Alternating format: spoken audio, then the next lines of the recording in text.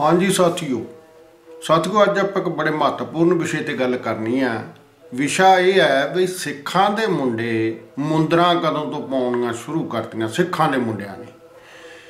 ਤੇ ਇੱਕ ਕੰਨ 'ਚ ਮੁੰਦਰ ਪਾਉਣ ਦਾ ਇਤਿਹਾਸ ਕੀ ਹੈ?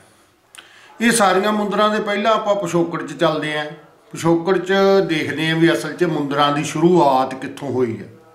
ਇਹਦਾ ਇਤਿਹਾਸ ਅਸਲ ਗੋਰਖਨਾਥ ਨਾਲ ਜਾ ਕੇ ਜੁੜਦਾ ਹੈ। ਭਰਥਰੀ ਹਰੀ ਨੇ ਜਦੋਂ ਗੋਰਖਨਾਥ ਨੂੰ ਚੇਲਾ ਬਣਾਇਆ, ਤਾਂ ਉਹਦੇ ਉਹਦੇ ਕੱਚ ਦੀਆਂ, ਲਾਖ ਦੀਆਂ, ਕਈ ਕਿਸਮ ਦੀਆਂ ਲਿਖਿਆ ਜਿਹੜੀਆਂ ਜੋ- ਜਿਹੜੇ ਜੋਗੀ ਮੁੰਦਰਾਂ ਪਾਉਂਦੇ, ਧਾਤ ਦੀਆਂ ਮੁੰਦਰਾਂ ਵੀ ਹੈ ਵਿੱਚ, ਤੇ ਉਹ ਮੁੰਦਰਾਂ ਪਾਤੀਆਂ। ਮੁੰਦਰ ਛੋਟੀ ਜੀ ਨਹੀਂ ਸੀ ਹੁੰਦੀ, ਜਿਵੇਂ ਔਰਤਾਂ ਪਾਉਂਦੀਆਂ, ਐਵੇਂ ਮਾਮੂਲੀ ਜਾਂ ਸਰਾਖ ਕਰਕੇ। ਜੋਗੀਆਂ ਦੇ ਪਾਈ ਵੀ ਤੁਸੀਂ ਮੁੰਦਰ ਵੇਖੀ ਹੋਣੀ ਆ ਉਹ ਤਕਰੀਬਨ ਆਪਣੀ ਬੱਚੇ ਦੀ ਉਂਗਲ ਜਿੰਨੀ ਮੋਟੀ ਹੁੰਦੀ ਆ। ਏਡਾ ਸਰਾਖ ਉਹਦੇ ਚ ਕਰ ਦਿੰਦੇ ਫਿਰ ਉਹ ਸਰਾਖ ਛੇਤੀ ਮਿਟਦਾ ਨਹੀਂ। ਅਸਲ ਚ ਕੀ ਆ ਵੀ ਉਹ ਇੱਕ ਕਿਸਮ ਦੀ ਨਿਸ਼ਾਨੀ ਹੁੰਦੀ ਸੀ ਵੀ ਇਹ ਬੰਦੇ ਨੇ ਜੋਗ ਧਾਰਨ ਕਰ ਲਿਆ।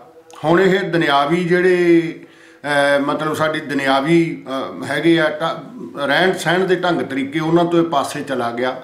ਹੁਣ ਇਹ ਨਾ ਹੀ ਇਹ ਗ੍ਰਸਤੀ ਬਣੂਗਾ, ਨਾ ਹੀ ਇਹ ਹੋਰ ਕੋਈ ਇਹੋ ਜਿਹੀ ਰਸਮ ਕਰੂਗਾ ਜਿਹੜੀ ਆਮ ਕਰਕੇ ਗ੍ਰਸਤੀ ਬੰਦੇ ਕਰਦੇ ਆ। ਇਸ ਕਰਕੇ ਇਹਨੇ ਜੋਗ ਧਾਰਨ ਕਰ ਲਿਆ। ਉਹ ਇੱਕ ਕਿਸਮ ਦੀ ਨਿਸ਼ਾਨੀ ਵਜੋਂ ਵੀ ਗਿਣਿਆ ਜਾਂਦਾ ਸੀ। ਕਹਿੰਦੇ ਆ ਵੀ ਗੋਰਖਨਾਥ ਨੇ ਆਪਦੇ ਚੇਲਿਆਂ ਨੂੰ ਦੂਜਿਆਂ ਚੇਲਿਆਂ ਨਾਲੋਂ ਵੱਖ ਕਰਨ ਵਾਸਤੇ ਵੀ ਇਹ ਮੁੰਦਰਾਂ ਪਾਈਆਂ, ਵੀ ਇਹ ਵੱਖ ਦਿਸਣ ਸਾਰਿਆਂ ਨਾਲ। ਇੱਕ ਬ੍ਰੈਗਜ ਅਨੁਸਾਰ ਕੰਨ ਪੜਵਾਉਣ ਤੋਂ ਪਹਿਲਾਂ ਜੋਗੀ ਨੂੰ ਔਗੜ ਕਹਿੰਦੇ ਆ।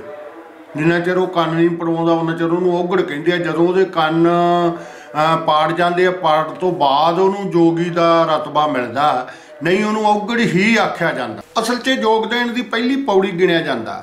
ਪਹਿਲੀ ਪੌੜੀ ਕਿਉਂਕਿ ਤਕਲੀਫ ਬਹੁਤ ਹੁੰਦੀ ਸੀ ਉਦੋਂ, ਕੰਨ ਤਕੜਾ ਪਾੜਦਾ ਸੀ ਤੇ ਉਸ ਤਕਲੀਫ ਨੂੰ ਉਹ ਸਹਿ ਸਕਦਾ ਕਿ ਨਹੀਂ ਇਹ ਦੇ ਇਹ ਵੀ ਗਿਣਿਆ ਜਾਂਦਾ। ਤੇ ਦੂਜਾ ਰਾਂਝੇ ਨੇ ਕੰਨੀ ਮੁੰਦਰਾਂ ਪਾਈਆਂ, ਉਹ ਕਈ ਕੁਛ ਅਸੀਂ ਸੁਣਨ ਨੂੰ ਸਾਡੇ ਮਿਲਦਾ। ਤੇ ਗੁਰੂ ਨਾਨਕ ਦੇਵ ਜੀ ਨੇ ਜਪਜੀ ਸਾਹਿਬ ਦੇ ਵਿੱਚ ਸੰਤੋਖ ਦੀਆਂ ਮੁੰਦਰਾਂ ਪਾਉਣ ਦੀ ਗੱਲ ਕੀਤੀ ਹੈ ਵੀ ਜੇ ਤੁਸੀਂ ਮੁੰਦਰਾਂ ਹੀ ਪਾਉਣੀਆਂ ਤਾਂ ਸੰਤੋਖ ਦੀਆਂ ਪਾਓ।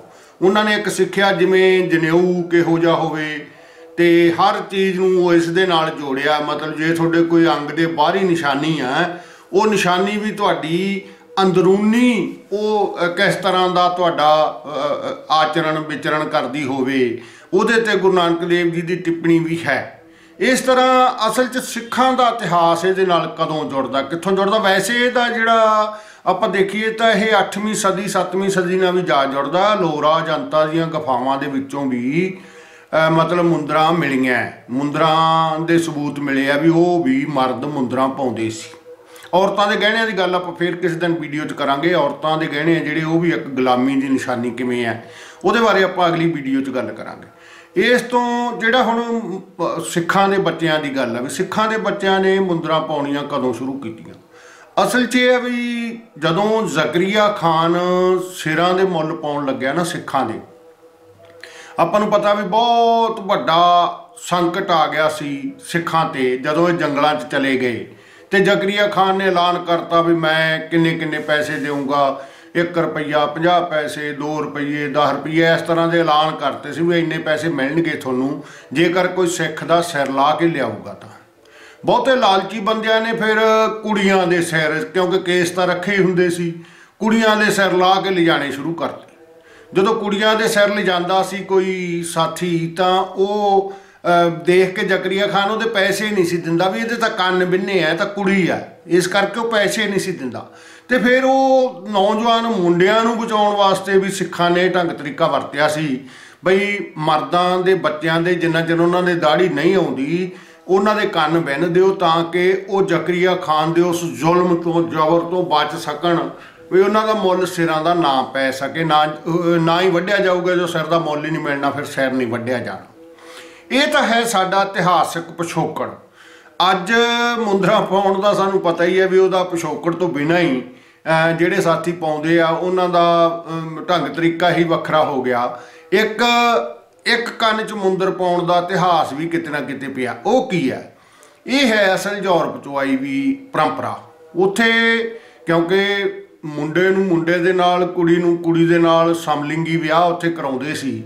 ਉਹ ਸਮਲਿੰਗੀ ਵਿਆਹਾਂ ਦੇ ਵਿੱਚੋਂ ਜਦੋਂ ਜੋੜਾ ਕੁ- ਦੋਨੇ ਕੁੜੀਆਂ ਵਿਆਹ ਕਰਾਉਂਦੀਆਂ ਸੀ ਜਾਂ ਦੋਨੇ ਮੁੰਡੇ ਵਿਆਹ ਕਰਾਉਂਦੇ ਸੀ, ਕਿਉਂਕਿ ਉੱਥੇ ਤਾਂ ਮਾਨਤਾ ਮਿਲੀ ਵੀ ਆ ਉਸ ਸਮਾਜ 'ਚ।